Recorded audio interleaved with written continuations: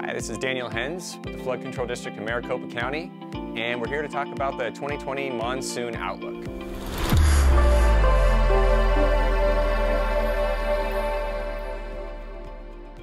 The season officially runs from June 15th to September 30th.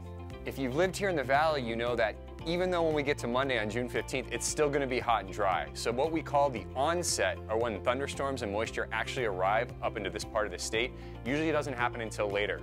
In fact, it's usually around July 7th or the 4th of July weekend. And the way that used to be measured was three consecutive days with a dew point of 55 degrees, and that would officially kick off the monsoon. But now we've just to basically try and get the state all in unison, June 15th to September 30th. So when it comes to how much rain we get through the monsoon, this part of Arizona, it's usually about 30 to 40% of their total uh, for the year. And when measured at Phoenix Sky Harbor, the official monitoring station for Phoenix, that comes out to 2.71 inches. But then if we look at all of the rain that falls on average around the entire county, it's actually closer to three inches. Our, our 30-year average here is 2.97 inches. What you're looking at here is the last 37 years worth of rainfall for monsoon seasons. This is data when averaged across all of our alert gauges and you can see it actually has this kind of roller coaster look. The far left of the graph is 1983. The far right was last season in 2019. You can see some years that, again, we're well above that average of 2.97. Some years we're below. There's no really kind of rhyme or reason to it. Um, of note, it's always like to point out 2014 there, we actually had uh, nearly seven inches of rain, which is almost double, no, more than double than what we typically see. Um, and then the last few years, we've had a couple of drier than normal years, then right around normal for 27 and 18. And then again, a really dry year in 2019, actually at the airport. We received 0.66 inches of rain, which was very, very dry. Um, but when averaged across the county, because we had a late season uh, big major event, we got closer to normal. We were just over two and a half inches. Let's take a look at the monsoon in general and the basics principles behind what's going on here. Again, for any of you that aren't familiar or you just moved to the valley, this is a nice crash course on how the monsoon actually works. In general, for most of the year, winds blow from west to east our rainfall comes from large upper level low pressure disturbances that move off the Pacific and across the state. We get cold fronts, rain, snow up in the higher terrain. However, when we go to the North American monsoon in the summer, July through September, the winds actually change from more out of the south to southeast. The main driver behind that is intense heating during the summer months across central Mexico. It actually helps drive a 500 millibar ridge north up into the desert southwest. Clockwise flow around that high helps to bring moisture north into Arizona from Mexico as well as the Gulf of Mexico. As well, we also get this thermal heat low in the southwest part of Arizona that moves moisture north into Arizona out of the Gulf of uh, California. So when you get enough moisture, you finally get thunderstorms over the higher terrain. And eventually, when we get enough of the moisture, when we have some of the forcing mechanisms like outflow boundaries from the higher terrain, that can actually get us thunderstorms down here in the valley. That's what we like to see. But the main feature of this is that a monsoon ridge. That ridge location is really key in determining uh, favorable patterns for us to see rain. We have four historical favorable ridge locations. So the, the, the, setup I just described is what we call our four corners high, and it's most typically seen in the, the main part of the monsoon. But we can also see, for example, the Great Basin High, which is right here, where the ridge kind of shifts further north and west, maybe setting up over Las Vegas. And that's actually when we tend to see a lot of our rim to valley setups, so the big intense thunderstorms up across uh, Gila County that make their way down into the valley in the evening. We typically tend to see lots of wind and heavy rain events. Then we also have what's called the trapping high here, where we may have some upper level disturbance that actually gets stuck across southern Arizona. Again, increased moisture forcing from that event can help drive lots of thunderstorms. We can tend to see lots of flooding.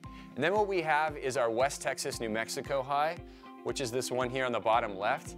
And that's kind of like, we call that the granddaddy of them all. It's, it's all or nothing pattern. So usually the beginning of the monsoon and the end of the monsoon, we'll see this kind of pattern where we have southwesterly flow. We may or may not have moisture. But as we get later into the season, this pattern is actually very conducive for pulling moisture from hurricanes or tropical systems up from the Gulf of California and into Arizona, as well as giving early season uh, low pressure systems can actually get pulled even while we're still in our monsoon pattern. We can get significant rain events. Let's take a look at the NOAA Climate Prediction Center, their three month outlook for July, August, and September. And so what you're seeing on the map right here is actually, it's a three category outlook and so the one that's actually on the map has to do with precipitation. And basically what this map is saying is that there's equal chances for above, below, or normal rainfall. So that's not really telling us a whole lot, unfortunately, because again, as far as the larger scale parameters, they may not be seeing.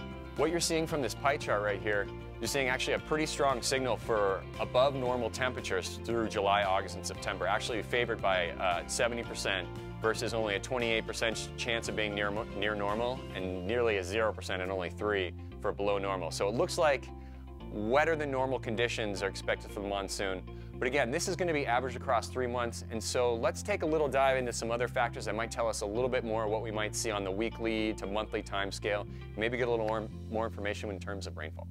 The first factor that we like to look at uh, is El Nino. So the El Nino Southern Oscillation. And I've got two uh, maps up on here. And the one that you're seeing on the top, on the right-hand side, you're actually looking at sea surface temperature anomalies in the equatorial Pacific. The oranges and the yellows, those are saying warmer than average temperatures. The blues um, are colder than average, and white is near normal. And so what you can see actually is that we're in a ENSO neutral phase. So we're not El Nino, we're not La Nina, we're actually kind of just sitting in the middle phase.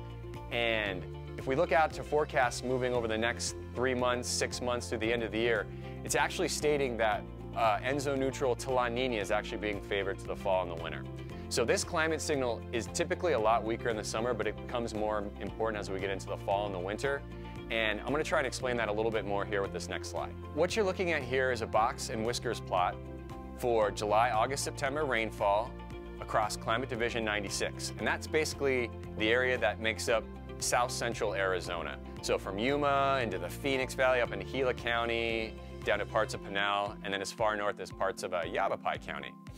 And so what we can see here is in general, there's not a whole lot of change between El Nino, neutral, or La Nina years, However, there's a little bit of change when it comes to the distribution or range of outcomes. When we're in neutral or even La Nina years, we tend to see there, there's a possibility of, again, anything can happen. It can be much drier, normal, or much wetter, but that range of outcomes seems to be expanded, and we tend to see some of our wettest years when we're neutral in La Nina. The next thing we like to look at is antecedent rainfall.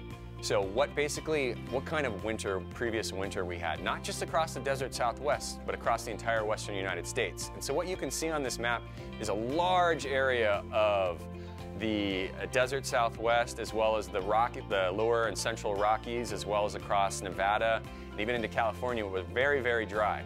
We did actually happen to have a pretty wet uh, winter season down across central and southern Arizona. But again, the higher terrain areas were much, much drier um, to our north. And then if we look in the Pacific Northwest, you can see lots of greens on there again, signaling that it was above normal rainfall. And so the reason I show you this map is there's been a, bu a bunch of research that shows when we tend to have uh, wet Pacific Northwest winters and drier winters down in the desert Southwest and Great Basin region, we tend to actually see an earlier start to the monsoon, giving us a larger number of days where we potentially could see rain. So we actually tend to see a little bit more uh, rain on these types of setups. So that's one clue. Now what you're looking at here is a 90-day loop. So you can see North America, South America, the Atlantic Ocean, and the Pacific Ocean right here behind me. And you're looking at sea surface temperature anomalies. Again, the blues mean colder than average. The oranges and yellows and reds mean warmer than average. We can focus in on two areas. Here's the equatorial Pacific, where again, influences from El Nino. And you can actually see we go from kind of above average to slowly trending to neutral to even maybe colder than average. So that signal of La Nina starting to take shape may be happening. The second area I want you to focus in on is that oval, and that's highlighting the Gulf of California. You can see when we start out in March and April, and even into a little bit of May, those temperatures are all colder than average, but they make a flip-flop, and they're actually getting much, much warmer than average, and you can see by the end of the loop. And that'll play right now here. You can say we're going to colder than average, to near normal, to much warmer than average as we get into May. So we're gonna highlight that region right now. And again, this is kind of a zoomed up look right at the Gulf of California. Again, we're just looking at absolute temperatures now, not sea surface temperature anomalies. And the main reason I want to bring this up is we like to focus on this northern part of the Gulf of California.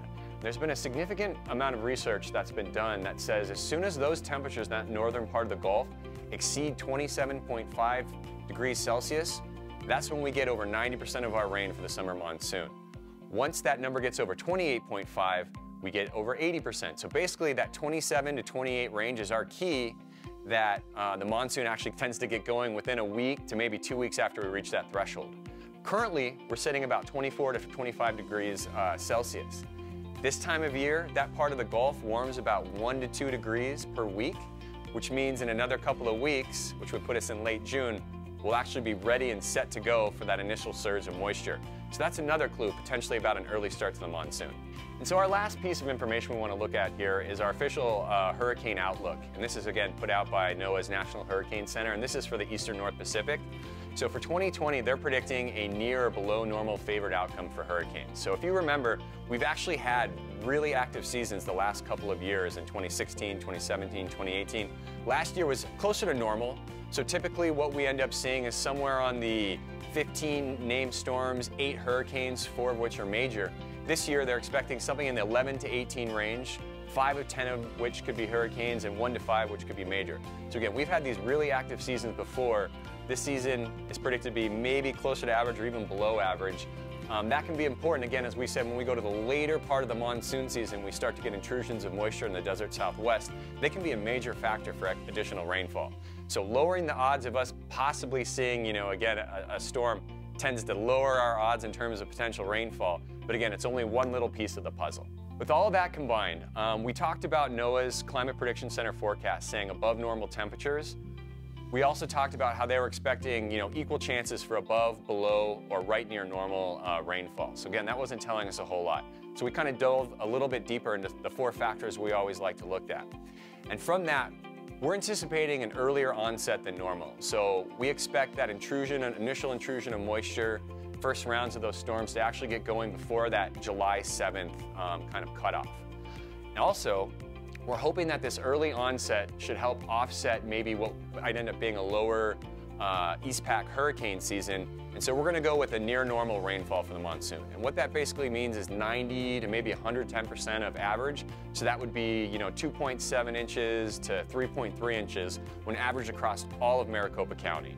So again, we're still expecting a busier season than last year, but maybe not quite a 2014. A couple other points I just want to mention. It only takes one or two heavy rain events to reach the historical monsoon uh, rainfall quota.